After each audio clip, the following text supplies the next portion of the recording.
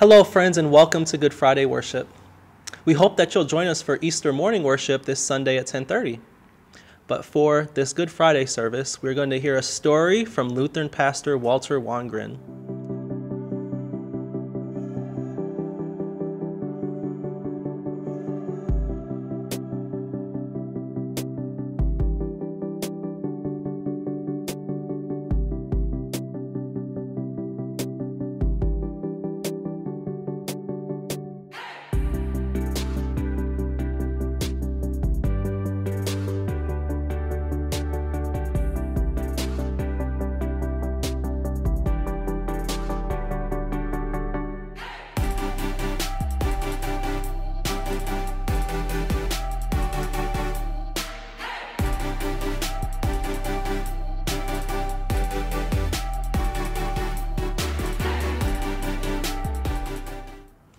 Please join in singing How Deep the Father's Love for Us.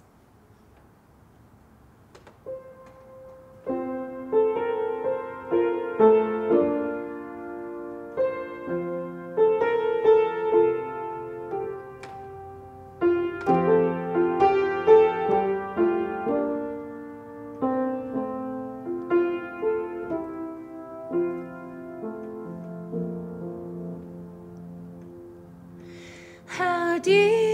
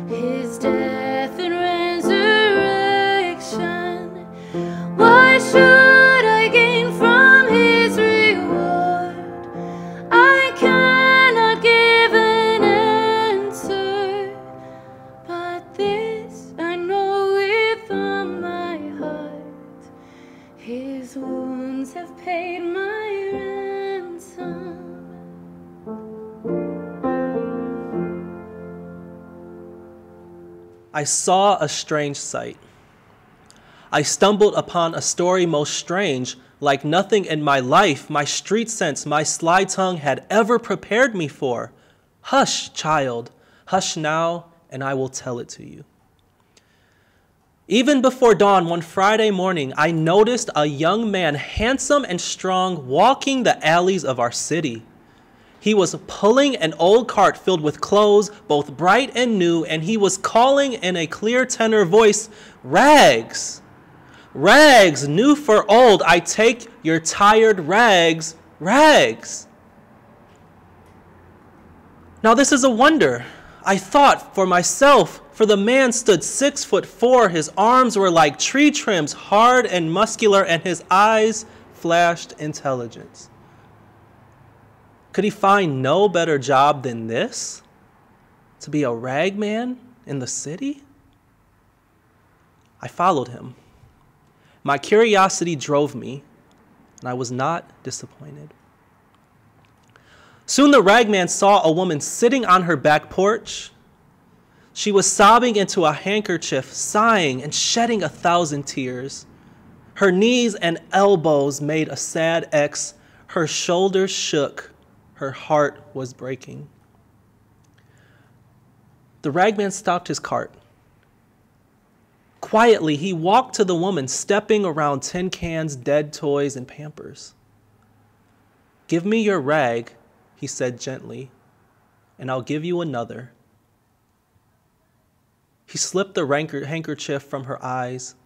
She looked up, and he laid across her palm a linen cloth so clean and new that it shined. She blinked from the gift to the giver. Then, as he began to pull his cart again, the ragman did a strange thing. He put her stained handkerchief to his face. And then he began to weep, to sob as grievously as she had done. Yet, she was left without a tear. This is a wonder, I breathed to myself. And I followed the sobbing ragman like a child who could not turn away from mystery. Rags, rags, new rags for old. In a little while, when the sky showed gray behind the rooftops and I could see shedded curtains hanging out black windows, the ragman came upon a girl whose head was wrapped in a bandage, whose eyes were empty. Blood soaked her bandage. A single line of blood ran down her cheek. Now the tall ragman looked upon this child with pity, and he drew a lovely yellow bonnet from this cart. Give me your rag, he said, and I'll give you mine. The child could only gaze at him while he loosened the bandage, removed it, and tied it to his own head. The bonnet he set on hers, and I gasped at what I saw, for with the bandage went the wound. Against his own brow, it ran a darker, more substantial blood, his own. Rags, rags, I take old rags, cried the sobbing, bleeding, strong, intelligent ragman.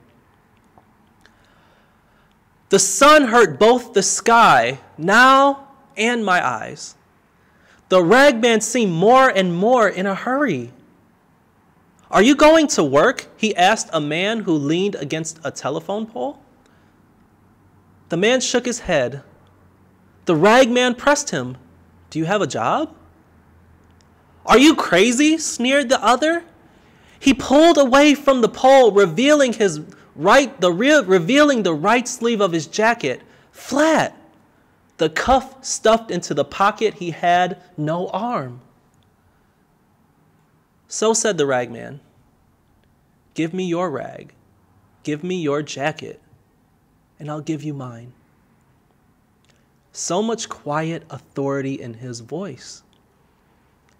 The one armed man took off his jacket, so did the ragman. And I trembled at what I saw, for the ragman's arm stayed in his sleeve and when the other put it on, he had two good arms, thick as tree limbs, but the ragman only had one. Go to work, he said. After that, he found a drunk, lying unconscious beneath an army blanket, an old man, hunched, wizened, and sick.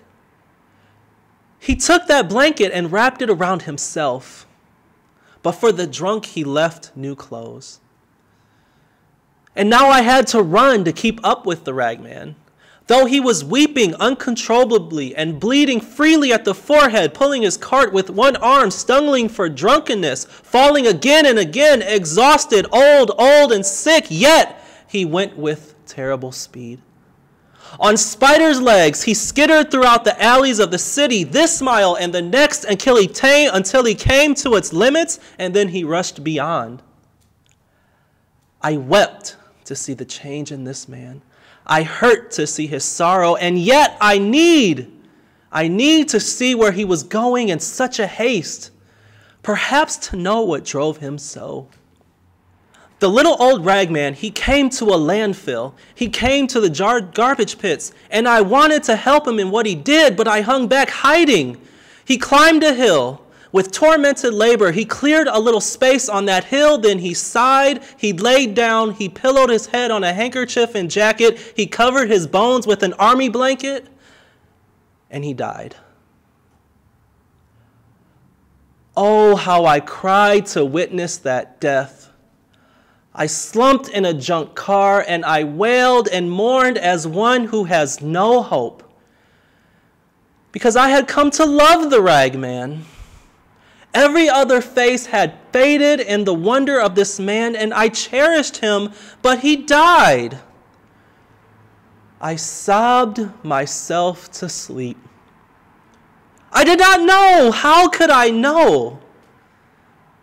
That I slept through Friday night and Saturday and its night too.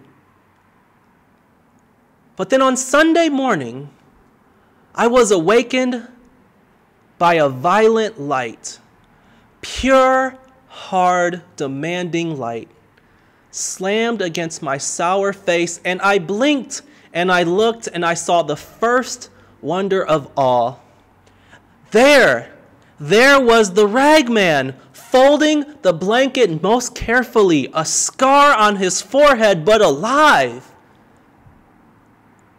And besides that, healthy. There was no sign of sorrow or age, and all the rags that he had gathered shined for cleanliness.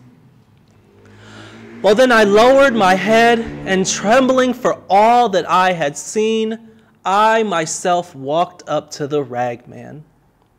I told him my name with shame, for I was a sorry figure next to him. Then I took off all my clothes in that place, and I said to him with dear yearning in my voice, Dress me. He dressed me my Lord, he put new rags on me, and I am a wonder beside him. The ragman, the ragman, the Christ. Please join in singing Stricken, Smitten, and Afflicted.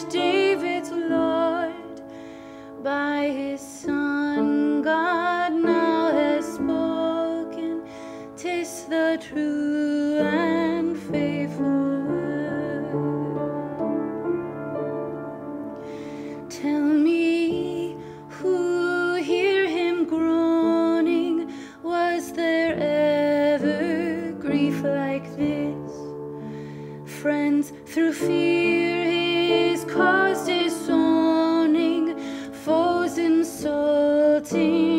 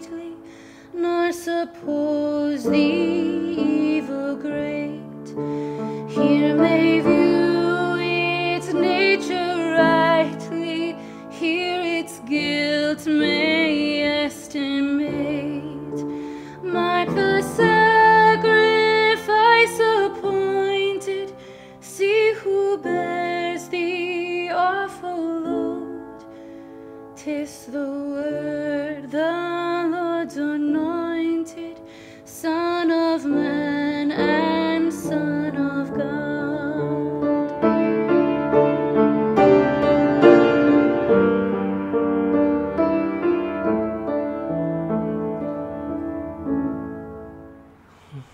Well, I hope you enjoyed uh, the reading of The Ragman by Pastor, uh, that was written by Pastor Walter Wangerin. And for the purposes of this Good Friday service, we wanted to just share this story with you as, as a reminder that through Good Friday, Jesus meets us and provides us what we need, and he gets us to Sunday in ways that we might not even recognize at the time. And so this, this story is just a reminder of how God always shows up even in the midst of the darkness. And on Sunday, we'll gather for Easter worship and uh, worship the risen Christ.